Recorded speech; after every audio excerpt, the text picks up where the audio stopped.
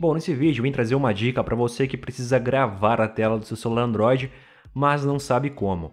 E se você quer saber qual o melhor editor de vídeo para Android, qual a melhor forma de fazer a capa para o seu canal, a capa do seu vídeo, clica aí no link tá na descrição, criando vídeos pelo celular. Bom, vamos lá. Como vocês viram no título, como gravar a tela com o app do próprio YouTube, e do YouTube não, do próprio Google, desculpa. Tô falando do YouTube Gaming, link na descrição para você poder baixar. E aí você entra com a sua conta, entrou com a conta, ele vai exibir aqui o YouTube Gaming normal. E o que interessa pra gente tá aqui em cima, ó, nessa flechinha para cima, Mobile Capture, jogue e entretenha um público no YouTube, grave jogos, tal, tal, tal. E clique aqui em próxima, tá? E aí você tem a opção de fazer streaming e gravar a tela. No caso, a gente quer gravar a tela, tá? Você pode escolher aqui a qualidade. Recomendo 720, se o seu celular não aguentar, uh, sei lá, ficar travando, joga para 480.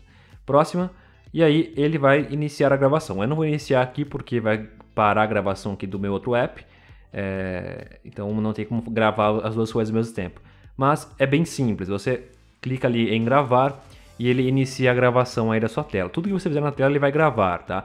Então não é só games. Se você estiver, por exemplo, mexendo aqui no Android, estiver aqui mexendo é, em um app, qualquer coisa, ele vai gravar. E vai gravar também a sua voz. Só que tem uma coisa, ele não te dá a opção de fazer o download é, dessa gravação. Ele não deixa salvo no seu celular.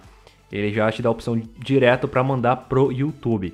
Então, é algo que você tem que fazer já sabendo que não vai dar para fazer muita coisa. Tem uma, uma opçãozinha ali de editar, dá para você cortar umas partes e tal, mas não é uma edição tão complexa, complexa quanto se você fosse editar no uh, KineMaster ou algo assim, beleza?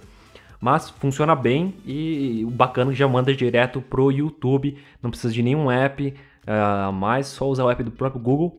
E é isso, link na descrição para você poder baixar. Fico por aqui, um grande abraço, até o próximo vídeo.